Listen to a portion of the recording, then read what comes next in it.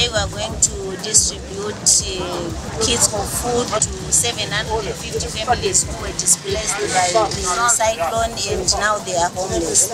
Each family is going to get uh, 10 kg bag of rice. They are also going to get some um, hygiene materials, a dish, a bar of soap, some Vaseline for their skin. The children also will have porridge, 2 kgs of porridge per family. They will also have 3 kgs of beans, a liter of cooking oil, and some sugar. So many people were affected, so many people are hungry.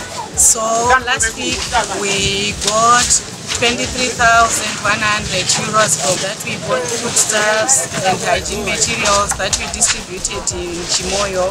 And this week again we bought uh, 28,000 euros which we used to buy this stuff. The quantities that I've mentioned here are sufficient to feed the families for a week. That means that after a week, something has to be done. We are really grateful to HQ and the Netherlands. We are really grateful. Thank you.